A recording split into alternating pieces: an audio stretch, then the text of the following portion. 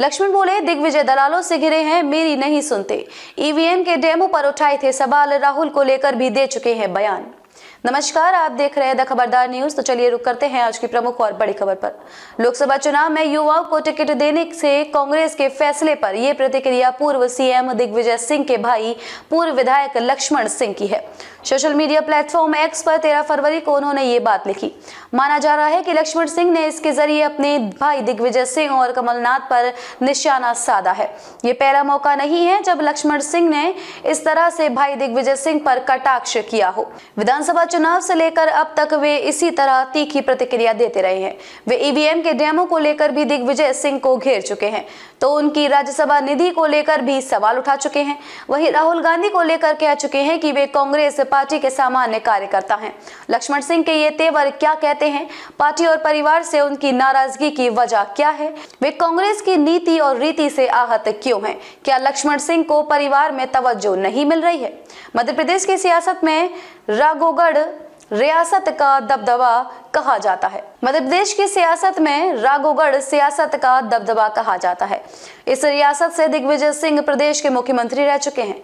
अब राज्यसभा सदस्य हैं। उनके बेटे जयवर्धन सिंह राघोगढ़ से विधायक हैं। दिग्विजय सिंह के छोटे भाई लक्ष्मण सिंह चाचौड़ा से विधायक रहे हैं। इससे पहले वे सांसद भी रह चुके हैं। लेकिन अक्सर कहा जाता है कि लक्ष्मण सिंह को उतनी तवज्जो नहीं मिली है जितना दिग्विजय सिंह के परिवार को मिली है। 2018 में जब 15 साल बाद मध्य प्रदेश में कांग्रेस की सरकार बनी तो लक्ष्मण सिंह को उम्मीद थी कि वरिष्ठता के आधार पर उन्हें मंत्रिमंडल में शामिल किया जाएगा। लेकिन उनकी जगह दिग्विजय सिंह के बेटे जयवर्धन सिंह को मंत्री बनाया गया। लक्ष्मण सिंह इससे आहत हुए।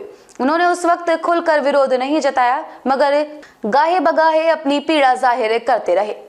खबरों में अब तक के लिए बस इतना ही। फिर होगी आपसे मुलाकात ऐसी किसी बड़ी और खास खबर के साथ। तब तक के लिए नमस्कार और देखते रहिए द खबरदार news.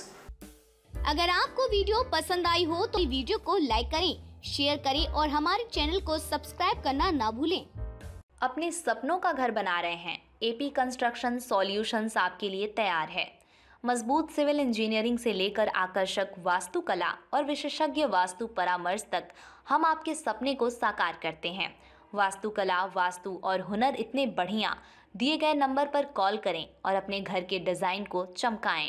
Please visit the Mountain Cafe and bakery for fast food nearby Suhagi bypass